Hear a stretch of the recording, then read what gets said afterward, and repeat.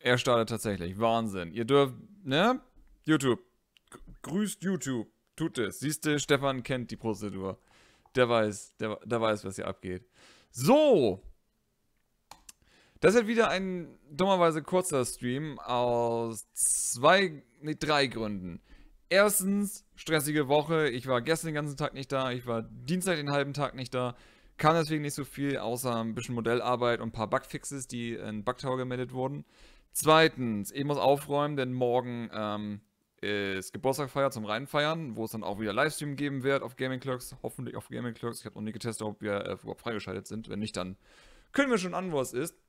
und ich muss halt noch Action News machen. Und drittens, die Pokémon Direct ist in 35 Minuten und einige Leute wollen die sehen, damit sie sehen, dass wieder dasselbe Spiel nochmal erscheint. Und ja, ich bin ein bisschen gefrustet mit der Pokémon-Reihe. Ich, ich, bin, ich bin da langsam einfach durch. Ich bin ein bisschen durch damit.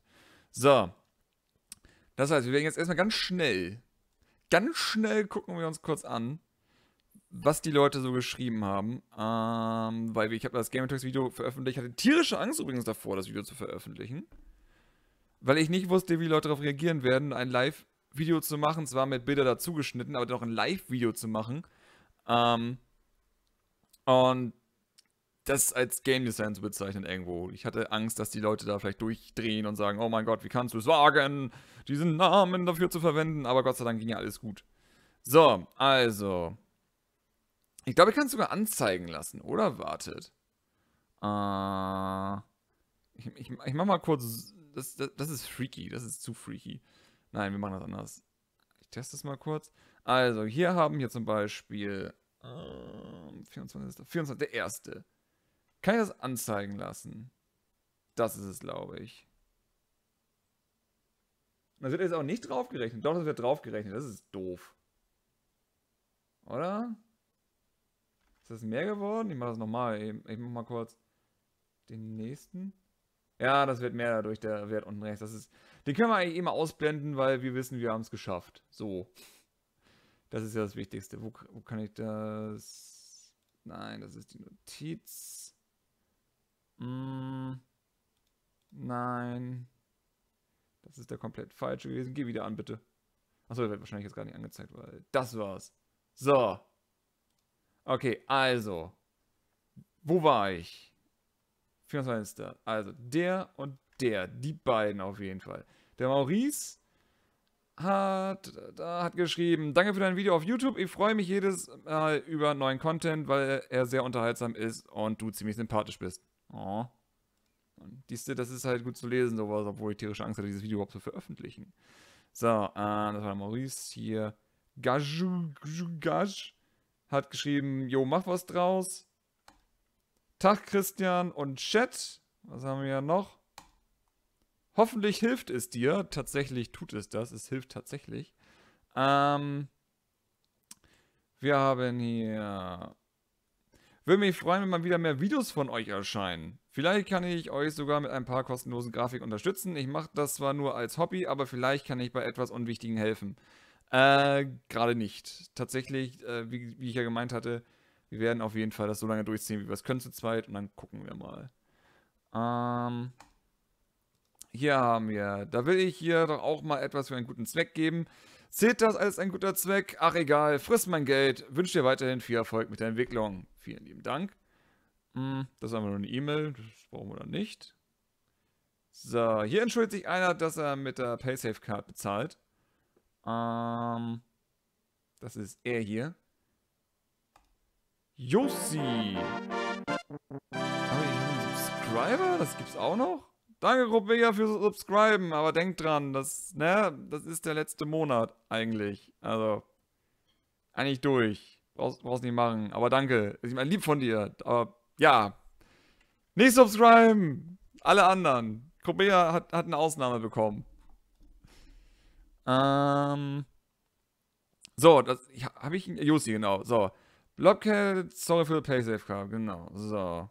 Das ist mal witzig, dass die Leute sich echt entschuldigen, wenn sie mit PaySafe-Card zahlen. Okay. Wir haben Matthias, der seine E-Mail geschrieben hat. Das ist er.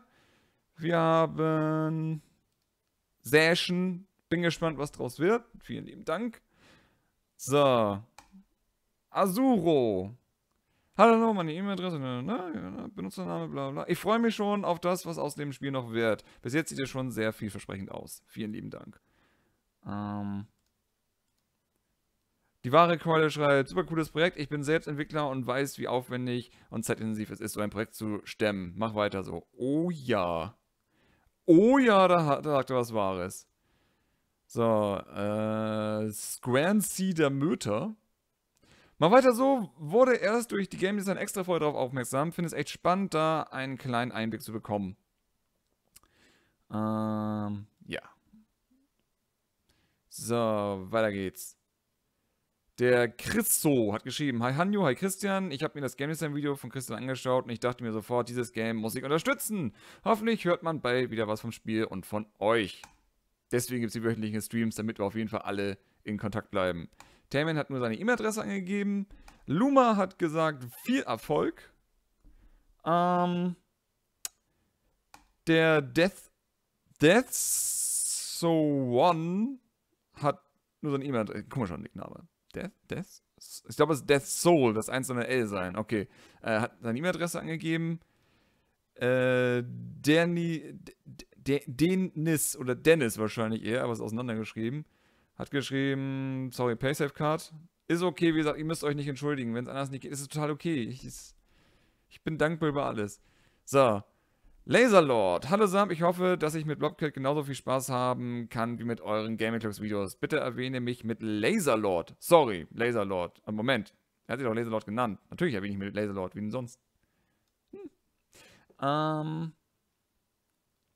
Wir haben Royex. Royex. Wie versprochen, die Spende, weiter so, E-Mail wird nachgereicht. Ich glaube, er hat es sogar getan. Ich hoffe, er hat es getan. Ich hatte jetzt alle nochmal nachgetragen, die da waren. Hendrik hat seine E-Mail-Adresse eingegeben, aber vielen lieben Dank. Ebenso äh, Fishy Happen, witziger Name, und ebenso Lars. Okay, damit haben wir es geschafft. Mein Gott, das war ein Run. So, ich hoffe, ihr seid alle noch da. Äh, das, das, das, das waren die Spenden, die reingekommen sind. Ich, ich sehe übrigens, ja, danke. Ja, ja, ja, ja, es ist hier überlagernd. Danke. Ich, wollte ich einfach nur kurz alle durchgehen. Aber ihr habt das ja trotzdem da gelesen, also alles okay. Alles gut. Das ist schön, wie lange er braucht, um dich hier anzuzeigen. Naja. Ja, ich kaufe das Goldketten davon. Oder nein, eigentlich er investiert das für Software, die ich noch brauche für Blobcat. Aus dem Asset Store. Ähm, kann ich vielleicht auch gleich mal zeigen. Ich würde aber erstmal anfangen mit Rollanimation. Hanjo hat Rollanimation gemacht. Das heißt, wir gehen auf ihren Twitter. Gehen hier einfach mal schnell rauf. Ähm. Da. So wird die Blobcat dann aussehen, äh, wenn sie durch die Gegend rollt. Es gibt bisher noch keine Linksrollanimation. Es gibt nur bisher die ähm, Anfangssprunganimation für rechts und links. Aber das kommt alles noch. Bedeutet, äh, wir werden hoffentlich morgen die Grafiken dann fertig haben. Und wenn alles gut geht und ich Sonntag nicht tot bin, werde ich das Sonntag noch einbauen, dass auf jeden Fall eure Alpha-Version am Sonntag diese neuen Animationen hat. Das ist ein großes Ziel von mir. Also Sonntag soll auf jeden Fall die neue Animation drin sein. Ähm, das wäre so das Wichtigste, was ich eigentlich da gerade reinpacken will. Weil ja, wegen Geburtstag ist halt diese Woche ein bisschen komplizierter gewesen. Ich hoffe dann halt, dass nächste Woche wieder ein bisschen ruhiger wird. Und dann machen wir auch wieder viel Progress. Denn wir haben eine neue Welt anzufangen. Ich bin nämlich persönlich äh, ein bisschen angenervt von der Küchenwelt. Äh, es ging ja so weit, dass ich muss mal kurz gucken, dass es hier nicht so laut ist. Ich habe nämlich keine Kopfhörer auf und das kann ja alles mögliche. Komm schon. Lautsprecher. Du, du packst das Lautsprecher. Lautsprecher. Danke. Na, es ist okay, es ist nicht wirklich laut. Okay. Ich weiß nicht. Ihr hört ein, ihr hört ein wenig das. Ja, das ist okay. Ähm, ja, 12 war das letzte, was ich gemacht hatte. Ich glaube, das hatte ich auch noch nicht in Livestream damals gezeigt. Das ist ähm, einfach nur ein Level, wo ich ein bisschen mit Licht rumgespielt habe und geguckt habe. Das läuft leider performance-technisch nicht so geil auf den Android-Geräten. Ich muss halt gucken, ähm, was ich da noch machen kann, was ich... Ja, was ich... Was ich machen muss, damit das auf jeden Fall performance-technisch besser läuft. Denn wir haben hier... Was war das? 139 Draw Calls und das ist ein bisschen krass. Das ist nämlich, wartet. Hier haben wir 24 Draw Calls. Draw Calls bedeutet immer, so ganz blöd gesprochen, Drawcall ist immer, wenn die Grafikkarte neu anfangen muss, irgendetwas anzufangen. Also sowas wie wenn ihr halt, stell dir vor, wir haben diese Flasche hier. So. Wir haben jetzt hier zwei Materialien. Das erste Material ist dieses Transparente hier. Ignoriere das Wasser. Stell dir vor, die ist leer. Das erste ist das Transparente hier und das zweite ist das Grüne hier. Zwei Materialien. Meistens. In den meisten Fällen ist das halt so. Ähm, wenn wir jetzt also diese Flasche copy und pasten in der Welt und machen jetzt da irgendwie 500 Flaschen von, die halt nebeneinander stehen, dann würde das, zumindest wenn die Polygonanzahl nicht zu hoch ist, äh, Unity nehmen und alles in ein Objekt reinspeichern. Sozusagen, dass es also sagen nicht 500 kleine einzelne Flaschen sind, sondern 500 ganze Flaschen. Das bedeutet, es werden nur zwei Drawcalls genutzt. 500 Mal wird eben der obere Teil der Flasche gemacht, 500 Mal wird der untere Teil der Flasche gemacht. Ich hoffe, das kann man so etwa verstehen. Anders wäre, hätten wir jetzt diese Flasche und dieser untere Bereich wäre rot, grün, blau mit Texturen, Stein, Holz und sonstiges. Der untere Teil wäre immer anders. Der obere Teil wäre immer gleich. Da hätten wir ein Draw Call für alle oberen Teile, weil alles dasselbe Material verwendet. Und ähm, ja, 500 verschiedene Draw Calls, weil das immer ein anderes Material hier unten ist. Das ist das Problem. Ähm, Draw Calls sind deswegen halt ein Fresser, weil sozusagen, wenn man so will, da irgendwas wieder von Null angefangen werden muss. Es kommt darauf an, was das, also was wirklich der Drawcall wirklich macht, im Sinne von, das ist ein Shader, der wirklich extrem viel Zeit frisst, sowas wie, früher war es zum Beispiel Bump Mapping. Bump Mapping war ja früher das wirklich schwieriger, heute sind wir schon ein bisschen weiter in Sachen, was ähm, Performance frisst. Und das Problem ist, was wir halt hier bei dem Merry-Go-Round-Level haben. Sagen wir hier. Was ist eine 3D-Ansicht? Und zwar, Drawcoils kommen halt nicht nur, wenn halt sozusagen ein Objekt gerendert wird, sondern jede Lichtquelle, die es in dieser Welt gibt, ist auch gleichzeitig noch ein zusätzlicher Drawcoil pro, pro, äh, pro Objekt. Bedeutet, wenn ihr diese Flasche habt, das ist ein Drawcoil, zwei Drawcoil. Und jetzt macht ihr eine weitere Lichtquelle dahin sozusagen einen Scheinwerfer sonstiges, dann sind das nochmal zwei Drawcoils mehr. Und dann wirft diese Flasche auch noch einen Schatten, jeweils für den oberen Teil und für den unteren Teil. Das sind nochmal zwei Drawcoils. Also sozusagen, ich habe zwei Lichtquellen, einen Schatten und trotzdem habe ich deswegen schon sechs Drawcoils, obwohl es nur ein einziges Objekt ist. Das frisst Performance. Drawcoils ist deswegen halt eine Sache, auf die man stark achten muss. Deswegen zum Beispiel, wenn ihr Mario Kart 8 habt. Mario Kart 8 wird es 100% so gelöst haben, dass alles, was ihr im Hintergrund seht, was verschiedene Texturen, also ein Kram verwendet. Mit viel Trickserei ist es alles wahrscheinlich nur so, sagen wir mal, zwei bis drei Drawcalls höchstwahrscheinlich. Und deswegen kann das mit 60 Bilder pro Sekunde laufen, weil sozusagen der Grafikprozessor nicht zu viel von vorne anfangen muss. So. Und das ist das Problem an diesem Level. Wir haben hier halt ähm, jetzt gerade 139 Drawcalls. Und deswegen gehen halt vor allem Mobile-Geräte absolut in die Knie, weil diese Geräte sind nicht darauf ausgelegt, viele Drawcalls ertragen zu müssen. Das, man muss halt so minimal halten wie möglich. Man muss halt gucken, was man hier machen kann. Ähm, soweit ich weiß, Directional Light zum Beispiel aus. Wenn ich das jetzt anmachen würde, sehen wir halt... Ah, okay, hier macht er jetzt die Drawcall-Sache nicht hoch, wahrscheinlich, weil er eh äh, ein Licht verwendet. Aber dieses Licht ist hier das böse Licht. Und da sehen wir halt, dass dieses Licht allein macht fast Ne, macht mehr als 100 Draw Calls. Nur dieses eine Licht. Das ist doof. Das ist ziemlich doof. Das heißt, ich muss mich vielleicht sogar von dieser Idee verabschieden, weil es einfach, also ich kann die Schatten ausmachen und dann sparen wir nicht viel, weil ähm, diese Wände hier werfen keinen Schatten. Das ist deaktiviert, wenn man es eh kaum sieht. Ähm, die Mäuse werfen auf jeden Fall einen Schatten und die Katzen werfen einen Schatten. Die Katzen werden alle gebadged, das heißt, die sind halt zusammen gefügt, dass es wahrscheinlich nur ein Drawcall ist, weil das alles dasselbe ist letztendlich.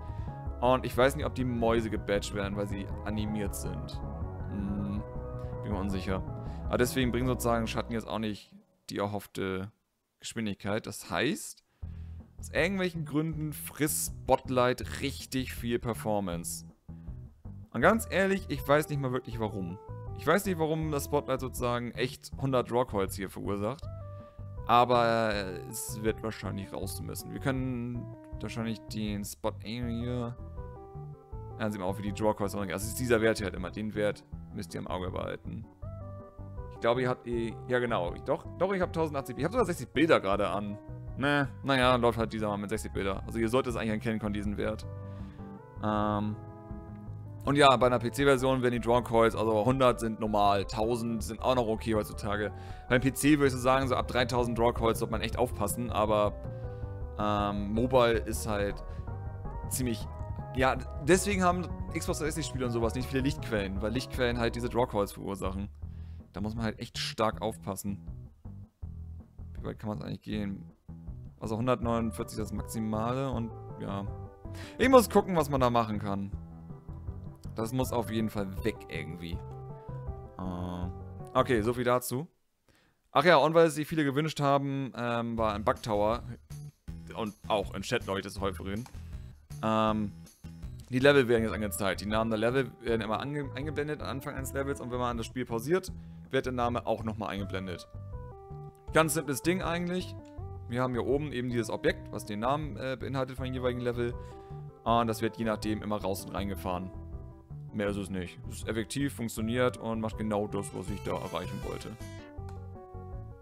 Yay. Ich glaube, es wird sogar... Ja, es ändert sich wahrscheinlich, genau. Bereits, wenn ein Level ausgewählt wird, weil logisch, ich muss es ja irgendwo vorbereitet haben. Und dann startet es darunter. Halt Hier ist es mit einer fixen Zeit. Das sind natürlich auch schon solche Fälle. Das ist eine witzige Sache übrigens. Okay. Stell folgendes vor bei Programmieren. Dieses Teil kommt von oben nach unten, sobald ein Level startet und geht dann wieder nach oben. Der logische Gedanke wäre normalerweise, okay, du machst, baust halt ein, ey, Ding, komm nach unten und nach drei Sekunden fahr wieder nach oben. Das wäre jetzt so der Programmcode, der logische Schrittfolge sozusagen. Drei Sekunden warten und geh wieder nach oben. Wir haben aber diesen einen ganz tollen Spezialfall. Was ist denn, wenn ich das Level starte das hier fährt nach unten und ich drücke Pause.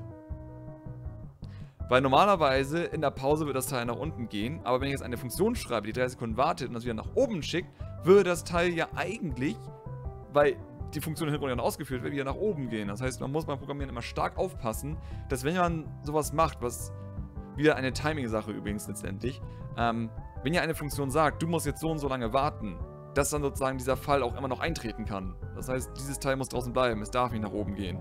Und das ist eine Sache, die man schnell vergisst und auch sehr viele Probleme verursachen kann, wenn es eben mal nicht einfach nur Text ist, der erscheint.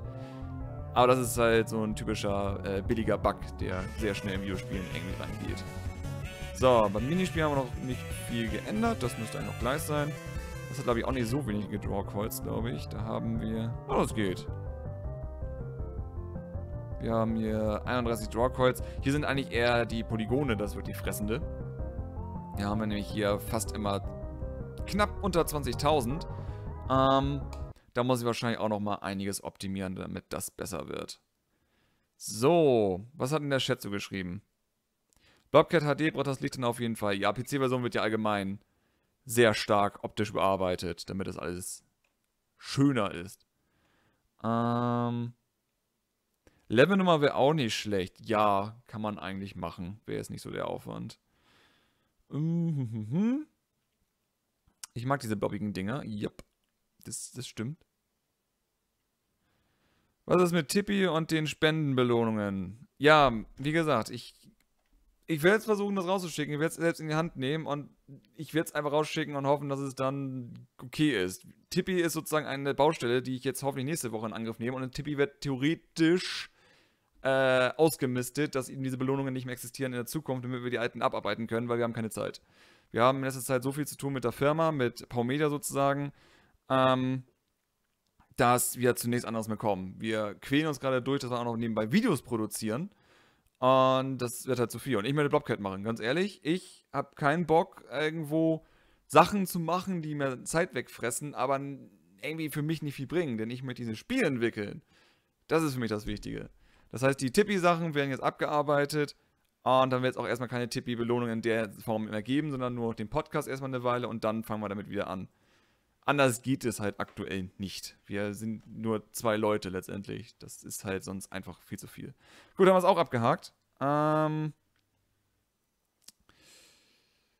Äh und nein, keine Angst, ich vergesse es nicht. Ich, ich gehe auf Tippi-Stream, äh, um die Spenden hier einzusammeln. Und natürlich kann ich so Tippi nicht vergessen, weil der Name damit instant wieder in meinen Kopf gerät. So, kommen wir zu den Modellen. Wir haben als nächste Thematik Western. Bedeutet, ich mache mal kurz den Soundfile hier aus. Bedeutet, ich habe mir überlegt, äh, was gibt es so für Modelle, die man halt machen könnte, die man in Western gebrauchen kann. Und ich bin kein Modellierer, um das immer festzuhalten. Ich kann keine 3D-Modelle machen. Ich bin simpel und einfach. Aber ich finde, für das Spiel passt das irgendwo. Es ist irgendwo. Ich weiß nicht, ich finde vom Look her finde ich das okay, dass es halt alles sehr simpel gehalten ist. Das heißt, ich habe auf jeden Fall Gleise. Einfach nur, weil mir ist eingefallen, Gleise muss es eigentlich geben, weil Gleise sind großartig. Die Gleise haben auch so einen nice, äh, netten, niceen Bevel-Effekt. Oder Bevel? Bevel? Ich glaube, Bevel ist es, oder? Das heißt, hier sind halt die Kanten abgeglättet, weil dadurch wird es einfach schöner, als wenn es einfach nur einfache Kästen sind. Ähm, simples Ding, hat einfach zwei Materialien, das heißt zwei Drawcoils, haben wir gelernt. Ähm, und die unteren Polygone sind rausgelöscht wegen Performance, aber mein Gott, die hätten den Braten eigentlich auch nicht fett gemacht. Wir haben ebenfalls ein Fass. Ja, es ist ein Fass, wie man sich das vorstellt. Ähm, mal konzentrieren. Benutzt natürlich auch wieder zwei Drawcoils. Können wir mit der Textur natürlich lösen. Aber ja, in dem Fall war es nicht nötig. Die Frage ist eigentlich sozusagen, mache ich das wirklich smooth oder lasse ich die Polygone anzeigen? Warte mal, das können wir. Wo war das? Das ist doch eigentlich bei Tools, oder nicht? Ja. Wir können es flatten. Weil ich glaube, der Look wird für ein Fass besser aussehen. Ja, lassen wir das mal an. Wir haben einen Kaktus. Aber nicht nur einen Kaktus, sondern wir haben auch Kaktus mit Stacheln. Yay! Wir brauchen Kakteen. Ähm, der Kaktus hat ebenfalls ein LOD-Objekt. Das ist sozusagen, ja, eine Low-Poly-Version, wenn man so will. Das ist ja dann für die Qualitätsstufe, die man einstellen kann. Äh, Low-Poly kommt übrigens daher zustande, weil das sozusagen dieses Modell genommen wird und mit einem Subdivision-Effekt belegt ist. Den haben wir. Hier müsste er sein. Da. Das heißt, es ist eigentlich die ganze Zeit immer schon dieses Modell, das ich vorher gebastelt habe. Aber mit einem Subdivision sozusagen wird das abgerundet mit und einfach Polygone hingezaubert, wenn man so will. Dadurch haben wir dann diesen runden Look. Ah, mit Steuerung kann ich dann auch die Stacheln mit einblenden. So, das ist der Kaktus. Wir haben ein Rad, das war eigentlich ziemlich interessant zu machen, sozusagen, weil es ja alles ähm, erstmal gleich sein muss. Die äh, Bretter hier müssen da rauskommen und es muss rund sein und das hier ist dann. Das war ein witziger Prozess, den hätte ich eigentlich gerne aufgezeichnet, weil es, glaube ich, auch viele einen Einblick gegeben hätte, wie das alles funktioniert. Aber ja, es ist. Äh, was mit der Spendensumme passiert, die habe ich erstmal ausgeblendet, weil ich da ja eben gerade alle eingeblendet habe. Das bringt ja nichts. Der hat das automatisch draufgerechnet. Das ist doof. Wir haben einen Zaun. Ähm, das sind besonders zwei verschiedene Zäune. Wir haben den Zaun und wir haben den Zaun. Die werden verbunden mit dem Zaunpfahl. Das heißt, man nimmt mal einen Pfahl, platziert ihn halt immer ein Stück weiter und kann dann, wenn man halt möchte, da diese Zwischenteile reinknallen. Und wir haben noch einen Zaun LOD. Das heißt, alle, die eine niedrige Stufe drin haben, haben einfach nur einen Block als Zaunobjekt. Also anstatt diese Zwischendinger haben wir einfach nur das hier. Weil es spart Polygone und vor allem, da der Zaun ja wahrscheinlich mehrere Objekte haben wird, ähm, spart man schon einiges an Polygonen. So. Ja, das waren die bisher die Modelle, die ich habe für Western. Ich werde die Steine aus der Tropenwelt wiederverwenden. Wir können eigentlich mal gucken, was passiert, wenn man die in Unity reinlädt. Das habe ich nämlich noch nicht ausprobiert. Gehen wir in Assets rein, Models, äh, machen hier oh, Wild West. Äh, und nennen das einfach Wild West. Exportieren den Spaß. Gehen in Unity rein. Öffnen dafür mal eine neue Szene. Und wir erstellen uns erstmal einen Boden. Mal 10. Nein, wisst ihr was? Wir machen eine Plane. Warte, ich mache eine Plane, weil dann können wir später noch reinzeichnen. Da haben wir eine Plane. Die hat bitte 2020 und auch 20, 20 Unterteilungen. Okay. Na, hier haben wir unser Plane. Schauen wir mal, wie die Modelle in-game aussehen. Ähm, Models, Wild West, Wild West, fast. Nehmen wir mal, packen wir erstmal alles rein. So. So sieht der Spaß aus, wenn wir es in Unity platziert haben. Wir machen es mal gerade zum Testen auf jeden Fall auch kleiner, damit wir hier ein bisschen mehr Spielraum haben. Wobei eigentlich gar nicht, weil die Schatteneffekte dadurch beschissener werden. Deswegen machen wir es lieber so. Machen das hier auf jeden Fall ein bisschen größer. Verschieben das. Und schauen das mal an. So. Das Fass machen wir hier hin. Der Kaktus und der Kaktus LOD machen wir hier hin. Das, ähm, das ist, das ist, Gleis, Gleis, Gleis. Das muss ein bisschen nach oben, damit man es sieht. Das Gleis müsste man dadurch auch eigentlich ähm, teilen können. Das ist halt dann, jupp, dass man die halt so aneinander steckt und dadurch dann sozusagen ein längeres Objekt äh, erstellt. Ähm, ebenso mit dem Zaun. Bedeutet, wenn ich jetzt den Zaun voll habe, ich nehme mal allgemein, ich nehme mal Zaun und Soundfall und Sound 1. Packen wir den jetzt hier zum Beispiel jetzt an der Schiene entlang. Und können dann hier wunderbar einen Sound entlang der Schiene machen. Und da wir ja zwei verschiedene haben, können wir die auch immer schon abwechseln, damit das eben nicht langweilig aussieht. Das ist immer das, wovor ich halt Angst habe, dass es dann langweilig aussehen könnte. So. Und dann können wir die nämlich immer abwechselnd platzieren. Ich brauche nur noch einen weiteren. Nehmen wir nochmal den. So, und natürlich, Trick 17 ist natürlich immer spiegeln. Also wir machen einmal rumdrehen. Und schon sieht das aus, als wenn es ein drittes verschiedenes Objekt wäre. Na, aber es geht ja durch, weil das nicht ganz null ist. Egal. So. So müssen wir halt das halt vorstellen. Ähm, zum Beispiel können wir jetzt auch noch hier. So, und dann können wir hier so einen Durchgang machen. Also ein Spaß. Das ist auf jeden Fall sozusagen die Idee dahinter, dass man halt diese Zaunteile halt schön einzeln macht, damit das da durchgeht. Das LOD kann man, ups, das war nicht, was ich wollte. LOD können wir mal löschen. Und wir haben dieses Rad. Das nehmen wir. Drehen das. Ähm, das ist Local bewegen, ist auch okay. Wir machen mal so. Und lehnen das einfach mal so gegen den Zaun. So. Und das fast daneben. Jetzt nehmen wir unseren Kaktus und den Kaktus LOD knallen wir weg.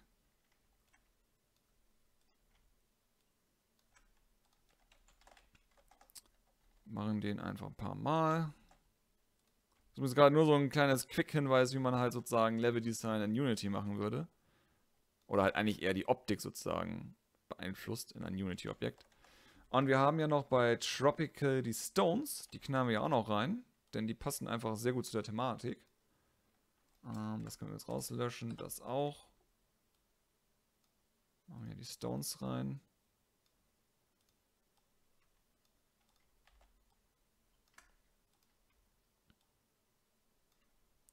So.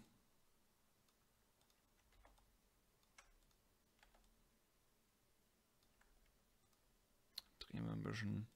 Sieht jetzt auch nicht so. Das ist immer das Wichtige. Drehen, immer alle Objekte drehen, damit das alles nicht so gleich und langweilig aussieht. Erstmal platzieren und danach drehen, weil es eben zwei Arbeitsschritte sind. Das ist dann einfacher. Ups, nicht so drehen. Ähm, drehen, drehen, drehen. So. Und jetzt müssen wir natürlich noch die Textur anpassen. Da könnten wir vielleicht sogar das Tropical-Zeug nehmen. Mal kurz gucken. Also müssen wir hier das alles markieren. Tropical. Ähm, UV-Editor. Und Scale machen wir. Ich glaube, es muss kleiner werden. 0.3. Ja, dann wird das größer. Können wir noch größer machen. Eins. Eins. Nein. Wieso ist das als Deal selektiert? Das ist nicht der Plan. 0.1. Hm. Ah, aber das teilt, geht das so einfach nicht. Bah. Shit. Okay, dann müssen wir das anders machen. Dann machen wir wieder 1, 1 mal kurz dieses automatische Lichtberechnen ausmachen, weil das frisst meine Performance. So. Mit dem Fall habe ich ehrlich gesagt noch nie gearbeitet. Ich weiß gar nicht, ob man... Kann das neu machen? Group Selected Faces. Ja, genau. So löst er das Problem. Select Texture Group. Kann ich das jetzt größer machen, ohne dass er ausflippt? Ja, ich glaube, jetzt macht er das. Also ich glaube, ich muss es doch größer machen, oder? Hm, Texture Group. Ich weiß nicht, warum er mal rausfliegt. Es ist kleiner geworden dadurch. Auch okay, lassen wir es einfach so. Wir brauchen einfach nur diese Textur, damit ich dann bei Vertex Colors ganz kurz hier reingehe, Texturen und dann nehme ich einfach diese Textur. Achso, das ist glaube ich die, die eh schon gerade an ist, oder? Na, die Steintextur. Und kann dann hier halt ein bisschen Steine reinzeichnen. Ein bisschen Western-Optik. Ich meine, das sind ja gerade die falschen Texturen. Das ist halt aus dem Tropical-Ding. Ich müsste halt jetzt ein neues Material dafür eigentlich mal anlegen. Aber einfach nur, um mal kurz hier zu testen, wie das halt aussehen könnte.